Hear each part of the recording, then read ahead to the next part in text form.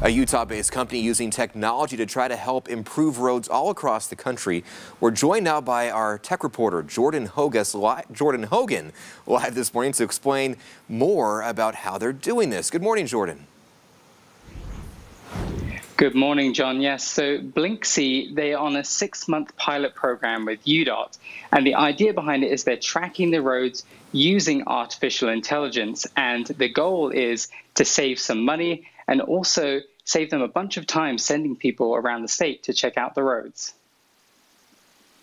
If there's an issue with a road, you usually report it over the phone or by using an app. But now the Salt Lake City based tech company Blyncsy wants to make the process more automated. Pavr is a software platform that uses machine learning to map roads and give feedback on things that need to be fixed or removed. So we basically get a continuous random cluster of images across these roads, and then we get them again and again and again until we have enough images to see every section of every roadway. The company says it works with one of the largest providers of in-vehicle dash cams to buy and collect anonymized images of roads. The software takes those images and does two things.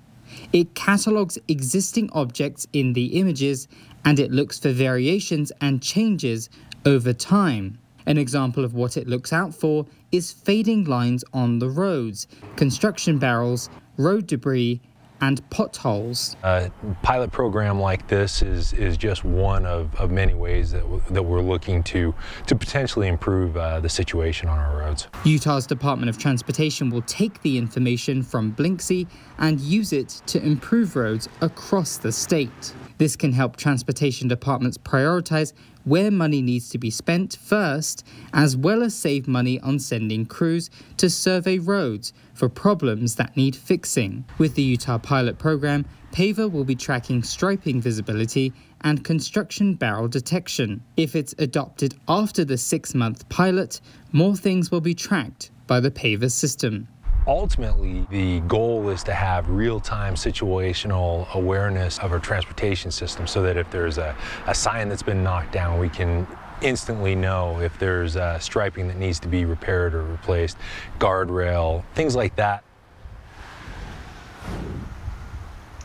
So Blyncsy is also working with California and New Mexico's Departments of Transportation in the coming weeks. So John, it just shows how popular it is already becoming and positive. Uh, it could be a positive outcome, but we'll just kind of have to wait and see over the next six months.